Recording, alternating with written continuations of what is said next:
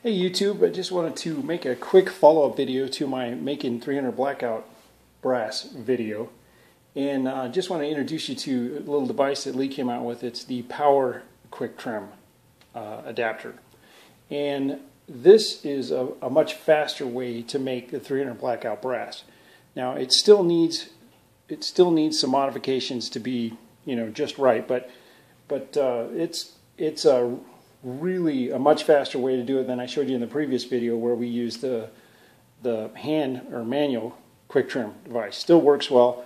Uh, this is just much faster and, and so the basics are on this is this is how you get it. It comes with your collar. It gives you adapter for different sizes. This is your adjustment ring here for depth so you can adjust the cartridge overall length. And then this piece is the adapter. This adapter is actually available by itself. So if you already have one of these, for a small price, you can just get the adapter and convert yours over, or you can just buy it by itself. And uh, this one is, bear with me, uh, Lee part number, as you see it here, Lee part number um, 90670. So this is this is a really nice device. I got this for $19 from Titan Reloading. That was the best price I found. So I gave them the business and a shout out. So here we go. Uh, a couple of things with it.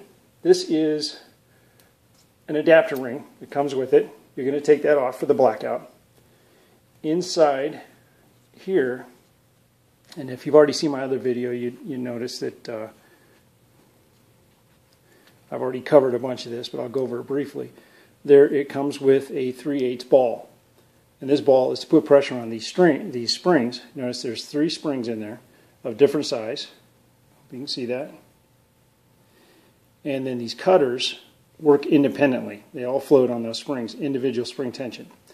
Now, what I found with the 300 blackout, and if you saw my other video, was that I wasn't happy with the amount of cut that I got on on uh, the inner and outer chamfer. The cut length was okay because that's done by this part here. But as far as chamfering and getting a nice clean chamfer in this area here, it just didn't work. I wasn't I wasn't happy with it. The the directions tell you to remove this ball. So we'll take that collar out and the ball, and then just put it back together like this. What happens is these inner springs that control the inner cutting blade don't have enough tension, and the outer springs have maybe too much tension. So um, in the previous video, I had just done a rig to use a uh, a piece of a bullet tip to kind of engage those inner springs and not so much the outer springs. Uh, more than just going flush on the bottom of the of the adapter, but less than using the 3 8 ball. So I, I revised that since taking some measurements, and actually what would work good in here is a uh, one quarter inch ball, smaller than the 3 8 so an eighth of an inch smaller. Anyway, um, what I found was actually using a um, we call it uh, airsoft pellet. They're real close to a quarter inch, fit in there pretty pretty good. Now see I'm engaging those springs but not the outer one. So that equalizes the pressure and it makes up for see that right there? It makes up for some of what I'm missing. Um, again, this is a rig, but it's easy to do. It didn't take much to get this to where it worked really well for me. I don't mind working with things as long as they produce good results and, and are cost effective. Uh, certainly, I can spend more money, but uh, this is a very cost effective way to do this. Now, another thing I want to show you about this is one of my experiences. This ring right here, this adjuster ring, is very stiff. And you see I can rotate that. Hopefully you're getting that. Like that all the way this way, like this, is longest, and all the way this way is shortest. Now I run these at the longest because that gives me on the on the blackout 1.360 inches pretty much every time. So I run them longest. Um, there's not a lot of uh, potential for this cartridge to grow because it doesn't have much of a shoulder on it. So anyway, that's where I'm running that. Now what I will say about this is I've I over tightened this one time and it came came loose and it actually popped off. And after it popped off, it wouldn't go back on. So it was frustrating because every time you tip it upside down, this ring would fall off. And here's the one that that happened to. This is actually fairly, I would call this low quality. So if I'm reviewing this, I'm going to say this is a weak spot. This and the, the lack of adjustability in the spring tension are the two weak points in here. But at $19, uh, MSRP for 25, it's worth working with. I was able to go on Lee Precision website and order these for a dollar a piece. I got four of them just to have them on hand. Um, when they when they ride on the bushing, they actually ride on this surface here because so I could see that surface wearing over time. Anyway, so I wanted to introduce you to that, and see here, this is the the die specific for the 300 blackout that you have to order. These are about 10 bucks. This fits in here like this, and I want to turn it like that. And the cool thing about this, what makes it a power trim, is this device right here is able to go into a drill or a nut driver or you know something you have that provides the the RPM to cut. So let me take you over to actually cutting with it and I'll show you the results. Now I've got three pieces of brass here that I just cut and sized. These are still too long. They need to be trimmed and chamfered. I'm going to show you I'm going to show you the length I've got here. You see that there? 1.372. So those that need to be trimmed down and they need to be you know chamfered so you can use them. So hang with me a second here. Okay, so here we are over at the uh, at the press. I've got it all set up with a power quick trim, and I've got my little Porter cable nut driver here. And um, so we'll just run through this real quick. Now, what I do is I run it up all the way, put a little downward pressure, and I run it for about four seconds.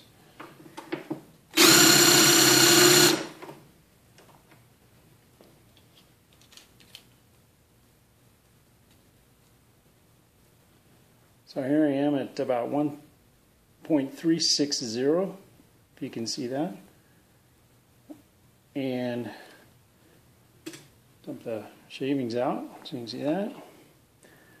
Now I'm going to try to get you a good look here, if I can, if it'll focus.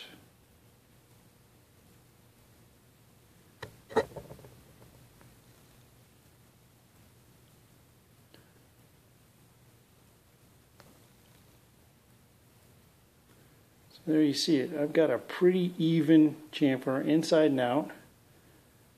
And I did that in about four seconds on a $19 piece of equipment. So anyway, um, I went through and did some and time myself. And it looks like I using this system, I haven't done a whole big batch with it, but using this system, uh, based on the timing I found, I can do about 100 pieces in about 25 minutes from start to finish. That's cutting it on the chop saw, sizing it, and then trimming it to final length. Now what I would say is, as you go along and you're doing these, go ahead and throw them in the bucket, but before you reload them, I would measure each one. Just do that one check because if you do get one that's too long, um, over 1.368, you may actually run into some chambering problems and not be able to go fully in a battery. So you want to make sure you take care of that. Anyway, um, to do these two for you real quick. I got left.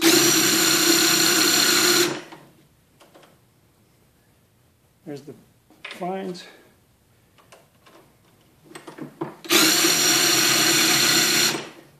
And guys, it just doesn't get any easier than that. That's that is.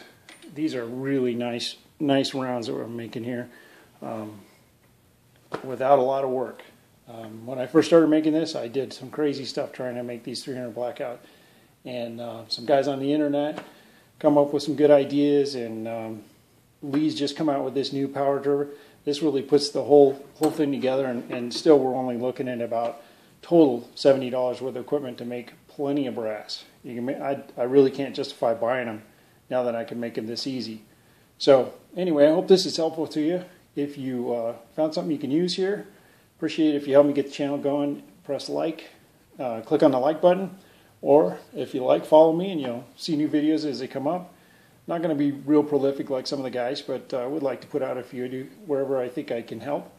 Uh, I've been helped over the years a lot by folks that take time to do this, and I uh, figure it's my turn to give back if possible. So, anyway, let me know what you think. Put your comments in the bottom there. Let's discuss it. If you see something I missed, let me know. Let everybody else know.